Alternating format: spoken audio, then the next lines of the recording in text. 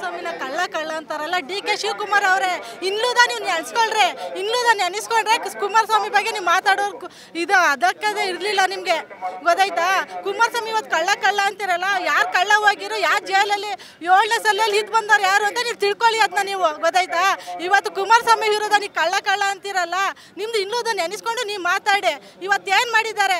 ಕರೆಂಟ್ಗೋಸ್ಕರ ನೀವು ಕಳ್ಳ ಅಂತಿರಲ್ಲ, ನೀವು ದೊಡ್ಡ ಕಳ್ರಲ್ವಾ?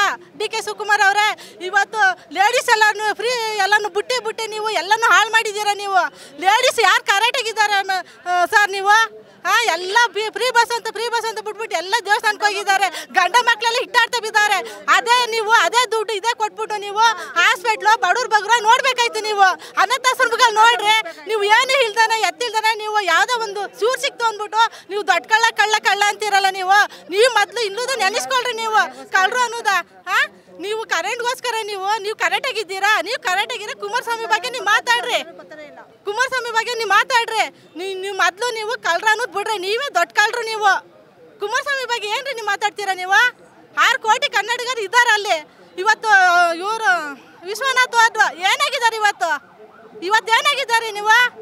ಅದೇ ಅವ ಅದೇ ಇವತ್ತು ತುಮಕೂರಲ್ಲಿ ಹೋಗಿದ್ದಾರೆ ಗೌರಿಶಂಕರ್ ಅವರು. ಅದೇ ಪರಿಸ್ಥಿತಿ ಬಂದೇ ಬರ್ತದವರು ಗೊತ್ತಾಯ್ತಾ? ಇವತ್ತು ಈ ಮಾತ ನೀವು ವಾಪಸ್ ತಗೊಳ್ಳೇಬೇಕು. ಆರು ಕೋಟಿ ಕನ್ನಡಿಗಡರಲ್ಲಿ ಇಲ್ಲಿ ಜೆ ಡಿ ಎಸ್ ಕಾರ್ಯಕರ್ತರು ಇದ್ದೇ ಇರುತ್ತಾರೆ. ಕುಮಾರಣ್ಣ ವಿರುದ್ಧಗಳು ನಾವು ಇದ್ದೇ ಇರ್ತೀವಿ. ಅದನ್ನ ನೀವು ಮರೀಲೇಬೇಡಿ ಇವತ್ತು ನೀವು ಮ್ಯಾಲಿದ್ದೀರಾ ಕುಮಾರಣ್ಣ ಕೆಳಗಿದ್ದಾರೆ. ಇವತ್ತು ಕುಮಾರಣ್ಣ ಬಂದೇ ಬರ್ತಾರೆ ಮ್ಯಾಲ್ಗಡಿಕೆ ಇದನ್ನು ನೀವು ಇನ್ನೊಂದ್ಸರಿ ಹೋಗೇ ಹೋಯ್ತೀರಾ ಜೈಲ್ಗೆ? ಅದೊಂದು ತಿಳ್ಕೊಳ್ಳಿ ನೀವು. ಎರಡೆರಡು ಸಾವಿರ ರೂಪಾಯಿ ಎರಡೆರಡು ಸಾವಿರ ರೂಪಾಯಿ ಕೊಡ್ತೀನಿ ಅಂತ ಹೇಳೋರೆ ಇಲ್ಲಿವರೆಗೂ ನಮ್ಗೆ ಯಾರಿಗೂ ಕೊಟ್ಟಿಲ್ಲ ಎರಡು ಸಾವಿರ ರೂಪಾಯಿ ಕೊಟ್ಟಿಲ್ಲ ರೇಷನ್ ಕಾರ್ಡ್ ದುಡ್ಡು ಬಂದಿಲ್ಲ ಏನೂ ಇಲ್ಲ ಐದು ಪಂಚತಂತ್ರ ಯೋಜನೆ ಕೊಡ್ತೀನಿ ಅಂತ ಹೇಳೋರು ಐದು ಯಾವುದು ಗ್ಯಾರಂಟಿ ಕೊಟ್ಟಿಲ್ಲ ಅವರು.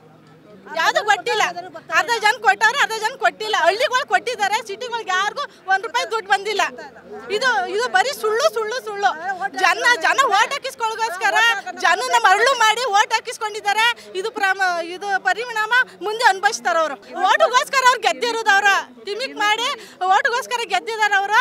ಇನ್ನು ಮುಂದಿನ ದಿನಗಳಲ್ಲಿ ಅವರು ಕೆಳಗೆ ಇಳ್ದೇ ಇಳಿತಾರೆ. ಅದು ಮಾತ್ರ ಗ್ಯಾರಂಟಿ.